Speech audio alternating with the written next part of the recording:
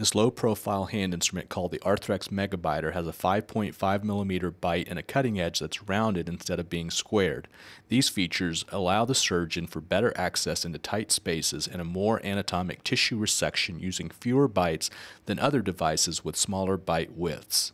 The shaver blade we'll use to finish this meniscectomy is the Arthrex Torpedo. Its tapered tip is designed for ease of access into and around the joint space like a switching stick.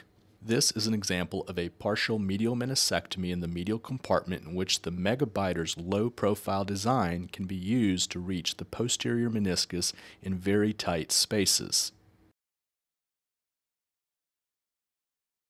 With the megabiter's 5.5 millimeter bite width, it just takes a few cuts to remove the meniscus.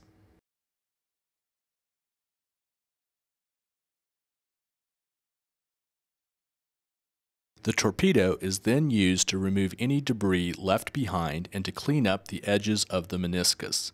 The distance between the inner and outer cutting edges is very precise, which is intended to cut more cleanly and aggressively, even though there are no teeth.